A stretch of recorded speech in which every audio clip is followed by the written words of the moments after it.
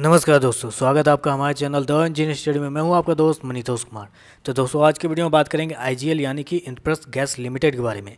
Basically बहुत सारे लोग फ्रस्ट्रेट हैं। देखिए, बहुत सारे लोगों के मैसेजेस आए मुझे, बहुत सारे लोगों की क्वेरीज आए कि, सर, ये शेयर भाग क्यों नहीं रहा? पिछले पाँच महीने से देखा जाए, जब से शेयर ने फरवरी के आसपास ये बॉटम बनाया था, उस बॉटम को शेयर अभी तक रिस्पेक्ट दे ही रहा है। उसी लेवल के आसपास शेयर ट्रेड कर रहा है।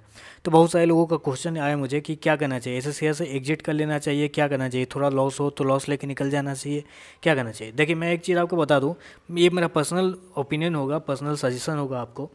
आप खुद भी वेरीफाई कर लीजिएगा पहले। कुछ शेयर जो होते हैं ना, अगर वो आपको लॉस दे तो आपको उसको इन्वेस्टमेंट पर्पज़ से छोड़ देना चाहिए। देखिए, कुछ जो शेयर होते हैं, अच्छे शेयरों की बात कर रहा हूँ, ख़राब शेयर की बात नहीं कर रहा हूँ। कुछ ख़राब शेयर होते हैं जिनको आप बाई करके आप 10 परसेंट लॉस में आप सोचिएगा कि हाँ थोड़ा दिन और वेट करते हैं, ऊपर चला जाएगा, वो 20 परसेंट लॉस देगा फिर 30 परसेंट देगा, फिर 40 परसेंट देगा। लेकिन जो अच्छे शेयर होते हैं इनडायरेक्टली मेरा मीन है कि जो क्वालिटी स्टॉक जो होते हैं, वो अगर आपको लॉस देते हैं तो आपको थोड़ा दिन इंतज़ार करना चाहिए। क्योंकि आप इससे सेल करके आप किसी और शेयर में एंटर कीजिएगा तो इसकी क्या चांसेस है कि वो शेयर आपको प्रॉफिट बना के दे? चांसेस है क्या? बहुत कम चांसेस है। लेकिन कहने का ये मतलब है, यही वो शेयर है ना? आपको याद है, यही वो शेयर है, अभी साढ़े तीन सौ रुपये के आसपास पे चल रहा है। यही वो शेयर है छः महीना पहले इस शेयर पे हर ब्रोकरेज हाउस 750 के आसपास का टारगेट दिया करते थे 750 याद रखिए प्रिसाइज मैं बता रहा हूँ। अगर आपको विश्वास नहीं हो रहा हो तो आप जाके चेक कीजिए, न्यूज़ चेक कीजिए 750 का टारगेट हर एक मतलब ब्रोकरेज हाउस दिया करते थे। आज से पाँच छः महीने पहले की बात है। शेयर अभी साढ़े तीन सौ रुपये के आस पास गिर के साढ़े तीन सौ रुपये आ गया। तो क्या मतलब इसका मतलब क्या कि सब कुछ खत्म हो गया, बर्बाद हो गया सब कुछ?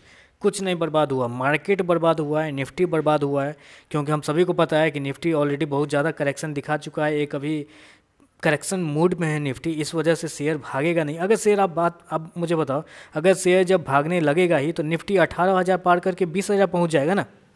आप समझने की कोशिश कर रहे हो, अगर सारे शेयर भागने लग जाएँ तो निफ्टी अठारह हज़ार तोड़ के बीस हज़ार पहुँच जाएगा। ये मतलब सोलह हज़ार के आसपास नहीं सराउंड करते रहता।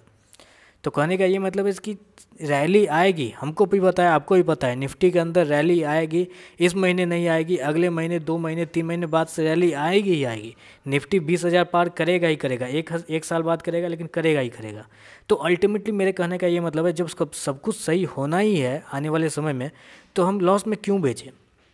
आप समझ रहे हो, हम लॉस में क्यों बेचें? जब हमारे पास कुछ क्वालिटी स्टॉक है तो हम लॉस में क्यों बेचें? अगर रिलायंस को जिसने दो हज़ार के रुपये के आसपास पे लॉस पे बेचा, जिनको बाईस सौ गया था शेयर चौबीस सौ गया था, फिर दो हज़ार आ गया तो लोगों ने लॉस पे बेचा हुआ कुछ लोगों ने। लेकिन अभी जो होल्ड करके रखे होंगे, उनको अट्ठाईस का लेवल दिखा के नहीं दिखा। आप मुझे बताइए, अट्ठाईस का लेवल दिखा के नहीं दिखा तो कैसे दिखा? होल्ड करने पर दिखा ना? इन्वेस्ट किया तभी तो दिखा। पैनिक होने से कुछ नहीं होता है। देखिए मैं ये नहीं बोलता हूँ कि हाँ बहुत समय से आप होल्ड किए मुझे पता है फ्रस्ट्रेट होते हैं। मैं भी फ्रस्ट्रेट होता हूँ।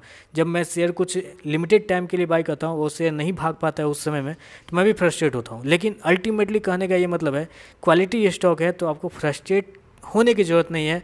हाँ एक महीने के लिए आप आए थे, उसको दो महीने और छोड़ दीजिए, तीन महीने और छोड़ दीजिए, कोई दिक्कत नहीं है। लेकिन जो आपका ये स्टॉक है, ये स्टॉक बहुत ही भयंकर है। इसका लेवल ऑलरेडी इसने अपना बॉटम बना दिया है, तीन सौ के आसपास आप देख सकते हैं। ये बॉटम है, अगर आपको स्टॉप लॉस लेना है तो तीन सौ पच्चीस का स्टॉप लॉस ले लीजिए। लेकिन मुझे नहीं लगता कि स्टॉप लॉस लेना भी चाहिए, तीन सौ पच्चीस का बॉटम है, इससे नीचे शेयर कभी जा नहीं सकता है, ये मैं गारंटी देता हूँ। तो कहने का ये मतलब है, बने रहिए शेयर में, घबराइए नहीं, शेयर अच्छा है पोटेंशियल का शेयर है। आने वाले समय में मुझे लगता है कि मिनिमम इसका टारगेट 450 के आसपास होना चाहिए एट एनी कॉस्ट तो यहाँ से अप्रोक्सीमेटली तीस परसेंट के आसपास का जंप तो आपको मिलेगा ही मिलेगा शेयर के अंदर। नंबर्स भी अच्छे आए थे शेयर के रिज़ल्ट भी कुछ समय पहले आए थे, बहुत अच्छे आए थे। तो कहने का ये मतलब है शेयर अगर फोल्ड कीजिएगा तो बहुत अच्छे रिटर्न मिलेंगे, बस यही बताना था। साथ में बताना था, अगर वीडियो अगर पसंद आए तो कृपया लाइक कर दे, साथ में साथ सब्सक्राइब कर दे। क्योंकि यूट्यूब लाइक के आधार पर वीडियो को मैक्सिमम लोगों तक पहुँचाती है तो आपसे एक छोटा सा रिक्वेस्ट है वीडियो को लाइक करे शेयर करे और सब्सक्राइब करें। तो आज के लिए बस इतना ही, धन्यवाद।